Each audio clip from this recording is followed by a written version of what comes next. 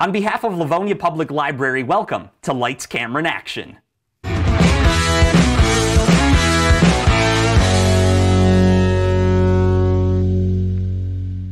Welcome to Lights, Cameron, Action. I'm your host, Cameron Zavara, and we have an awesome magic trick to teach you today in our segment called Betcha.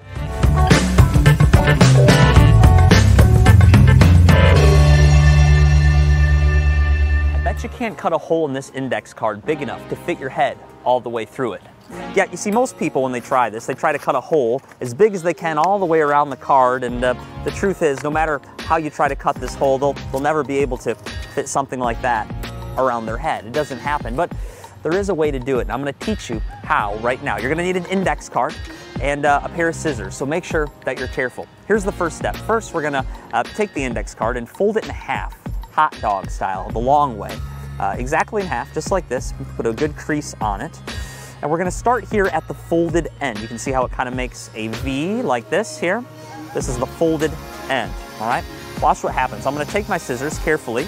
I'm gonna cut two slits on either end of the folded end. There's one, and there's two. Being careful not to cut all the way through, all right? Now, I open it up, and you can see that's uh, one slit here. I'll pull it down, and the other slit there. I'll pull that one down. That leaves us with kind of a crease in the middle. So what I'm gonna do is take my scissors, I'm gonna cut that crease in half. So you kind of see we have like a, uh, like a doorway almost. You get a good look at that, all right? Now here comes the fun part. You fold the card in half and we're going to start on the opposite end here. I'm gonna start cutting slits back and forth all the way down the card, making sure that I don't cut all the way through the index card. This can be a little bit of a tedious process, but the ending's really cool. Check it out.